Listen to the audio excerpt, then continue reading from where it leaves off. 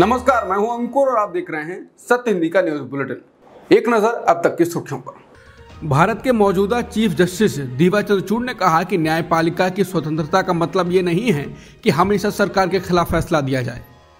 Indian express के group के एक कार्यक्रम में सीजीआई चंद्रचूड़ ने कहा कि कुछ प्रेशर ग्रुप हैं जो मीडिया का उपयोग करके अदालतों पर दबाव डालते हैं और अपने अनुकूल फैसले लेने की कोशिश करते हैं। उन्होंने न्यायपालिका की निष्पक्षता और पारदर्शिता को समझाते हुए कहा कि परंपरागत रूप से न्यायिक स्वतंत्रता को कार्यपालिका से स्वतंत्रता के रूप में परिभाषित किया गया था। न्यायपालिका की स्वतंत्रता का अर्थ अब भी सरकार के हस्तक्षेप से स्वतंत्रता है, लेकिन न्यायिक स्वतंत्रता के संदर्भ में ये एकमात्र चीज़ नहीं है। इंडियन एक्सप्रेस के कार्यक्रम में चंद्रचूड़ ने टिप्पणी की कि जब उन्होंने चुनावी बॉन्ड योजना को अमान्य कर दिया और केंद्र सरकार के खिलाफ फैसला सुनाया तो उन्हें बहुत स्वतंत्र कहा गया। चीफ जस्टिस ने कहा कि जब आप चुनावी बॉन्ड पर फैसला लेते हैं तो आप बहुत स्वतंत्र हो जाते हैं। लेकिन अगर फैसला सरकार के पक्ष में आता है तो आप स्वतंत्र नहीं हैं। लेकिन ये मेरी स्वतंत्रता की परिभाषा नहीं है। वहीं कई मामलों में अदालतों द्वारा जमानत न दिए जाने के मुद्दे पर सीजीआई ने कहा कि सीजीआई के रूप में उनके लिए ये गंभीर चिंता का विषय रहा, क्योंकि मैंने यही कहा था कि जमानत अपवाद के बजाय नियम है। वो संदेश ट्रायल कोर्ट तक नहीं पहुँचा है। वो जमानत देने में अभी भी आनाकानी कर रहे हैं। सीजीआई ने कहा कि मैंने हमेशा कहा है कि मैंने ए से जेड तक, अर्नब से लेकर जुबैर तक को जमानत दी है। यही मेरा दर्शन है। वरिष्ठ वकील दुष्यंत दबे ने सीजीआई चंद्रचूड़ की उस चिंता पर जवाब दिया कि इतिहास उन्हें कैसे याद रखेगा। उनकी क्या लेगेसी होगी? दबे ने करण थापर को दिए इंटरव्यू में कहा कि सीजीआई चंद्रचूड़ की विरासत को भूल जाना बेहतर है। हमें भूल जाना चाहिए कि उनके कार्यकाल में सीजीआई के दफ्तर में क्या क्या हुआ। और ये मैं ज़िम्मेदारी के साथ कह रहा हूँ, जिसके बाद लोग उस पर टिप्पणी कर रहे हैं। वो कह रहे हैं कि भक्तों के अलावा कोई भी उनके विचार से असहमत नहीं होगा। सीजीआई जिस प्रकार से अपने फैसलों पर जो कारण और तर्क दे रहे हैं और गणेश चतुर्थी पर मोदी को अपने घर पर बुलाने पर जो सफ़ाई दे रहे हैं, वो गिल्टी माइंड की शब्दावली है। सीजीआई चंद्रचूड़ इस सप्ताह रिटायर हो रहे हैं और उनकी जगह सुप्रीम कोर्ट के वरिष्ठतम जज जस्टिस संजीव खन्ना अगले हफ़्ते से कार्यभार संभालेंगे। इस बीच सीजीआई के कार्यकाल का मूल्यांकन हो रहा है और सीजीआई निशाने पर भी हैं। फ़िलहाल इस बीच द वायर ने एक रिपोर्ट छापी है जिसमें बताया गया है कि कैसे इस अगस्त में कुछ वकीलों को वरिष्ठ अधिवक्ता यानी सीनियर एडवोकेट्स का दर्जा देने के संबंध में फुल कोर्ट मीटिंग में सीजीआई को कुछ अन्य जजों के विरोध का सामना करना पड़ा था और ये बातचीत तीखी बहस में बदल गई थी, आरोपों की झड़ी लग गई थी, जो न्यायालय में सीजीआई और उनके साथी वरिष्ठ जजों के बीच बेहद असामान्य घटना है। द वायर की रिपोर्ट में कहा गया है कि सूत्रों के मुताबिक 14 अगस्त को ही इस बैठक में एक वकील को वरिष्ठ अधिवक्ता बनाए जाने की संभावना पर चर्चा हो रही थी, जब दो जजों ने इसका विरोध किया। उनका कहना था कि उक्त वकील ने जिरह के दौरान छोटे बयान देकर अदालत को गुमराह करने की कोशिश की थी। सीजीआई ने न्यायाधीशों को स्पष्टीकरण देते हुए मनाने का प्रयास किया, लेकिन बात नहीं बनी। सूत्रों ने द वायर को बताया कि जल्द ही ये बातचीत विवाद में बदल गई और उस स्तर तक पहुँच गई जहाँ सीजीआई ने एक जज से ये तक कह दिया कि वो ध्यान रखें कि वो देश के प्रधान न्यायाधीश से बात कर रहे हैं। बैठक में मौजूद एक जज ने द वायर को बताया कि मैं कई फुल कोर्ट मीटिंग में शामिल रहा हूँ, जहाँ कई दफ़ा मतभेद या अलग अलग राय सामने आती है। लेकिन यह पहली बार था जब मैंने किसी सीजीआई को इस तरह अपने पद की धौस जमाते हुए देखा। वो शायद ये भूल गए कि वो पद में वरिष्ठ हैं, पर हमारे बॉस नहीं है। हम में से कई लोगों को लगता है कि उन्हें ऐसा नहीं करना चाहिए था। वो स्कूल के बच्चों से बात नहीं कर रहे थे। फ़िलहाल, तमाम विरोधों के बावजूद सीजीआई ने इस वकील को वरिष्ठ अधिवक्ता के बतौर नामित करने का फैसला किया।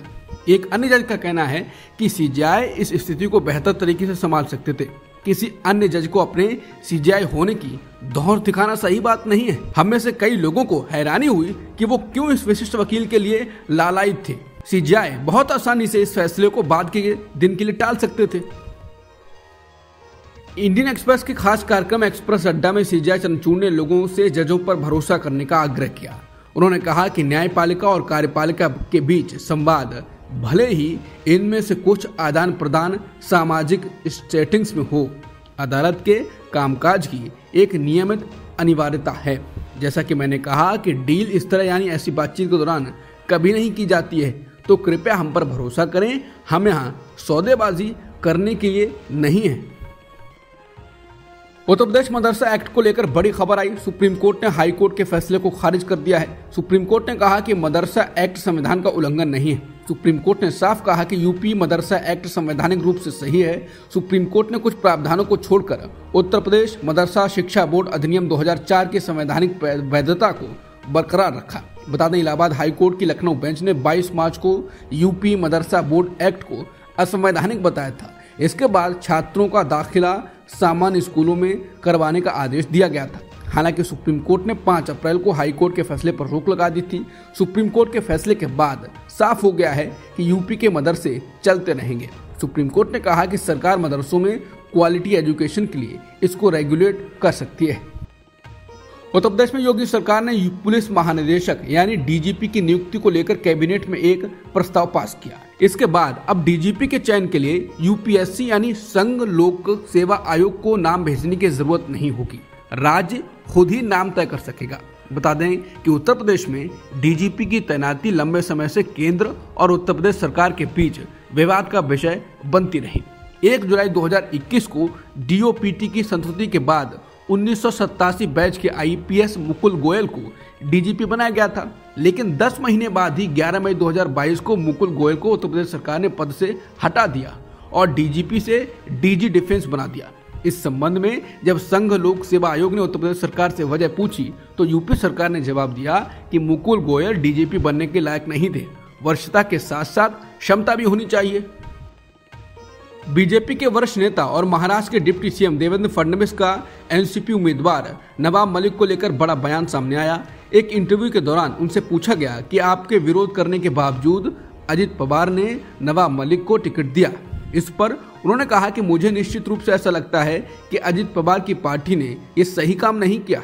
उन्हें ऐसा नहीं करना चाहिए था। हमने उनसे स्पष्ट शब्दों में कहा था, इसके बावजूद उन्होंने ऐसा किया। इसलिए हमारी पार्टी ने वहाँ पर शिवसेना का एक कैंडिडेट भी उतार दिया है। हम शिवसेना का काम करेंगे। भारत के विदेश मंत्री एस जयशंकर ने कनाडा के हिंदू सभा मंदिर में हुई घटना को बहुत चिंताजनक बताया। ऑस्ट्रेलिया के आधिकारिक दौरे पर गए एस जयशंकर से पूछा गया कि क्या इस तरह की घटना से भारत और कनाडा के बीच राजनयिक तनाव बढ़ सकता है? एस जयशंकर ने कहा कि कनाडा में हिंदू मंदिर पर जो कुछ हुआ, वो ज़ाहिर तौर पर काफ़ी चिंताजनक है। हम ये भी उम्मीद करते हैं कि इस हिंसा में जो भी शामिल है, उन्हें गिरफ़्तार किया जाए। हमें कनाडा में रह रहे भारतीय नागरिकों के बचाव और सुरक्षा की बहुत चिंता है। बता दें, इस मामले पर भारत के प्रधानमंत्री ने भी सोशल मीडिया साइट एक्स पर एक पोस्ट के ज़रिए घटना की आलोचना की थी। अमेरिका में राष्ट्रपति चुनाव के लिए वोटिंग शुरू होने से पहले डेमोक्रेटिक पार्टी की उम्मीदवार कमला हैरिस के समर्थन में तमिलनाडु के गाँव थुलासेंद्रापुरम में पोस्टर लगाए गए हैं। कमला हैरिस के नाना और नानी भारत के दक्षिणी शहर चेन्नई से 300 किलोमीटर दूर एक छोटे से गाँव थुलासेंद्रापुरम में रहते थे। बता दें, अमेरिकी राष्ट्रपति चुनावों में डेमोक्रेटिक पार्टी की उम्मीदवार कमला हैरिस का मुकाबला पूर्व राष्ट्रपति और रिपब्लिकन पार्टी के उम्मीदवार ट्रंप से है। हालाँकि कुछ जगहों पर भगवा कपड़े पहनकर खुद को संत कहने वाले लोगों ने भी ट्रंप की जीत के लिए यज्ञ किए हैं। अमेरिका के अगले राष्ट्रपति को चुनने के लिए कुछ घंटों में वोटिंग शुरू होने वाली है। इन चुनावों पर दुनिया भर की नज़र बनी हुई है। माना जा रहा है कि इस बार का मुकाबला काफ़ी करीबी हो सकता है। अब तक के सुर्खों में इतना ही। बाकी खबरों के लिए बने रहिए सत्य हिंदी डॉट कॉम के साथ।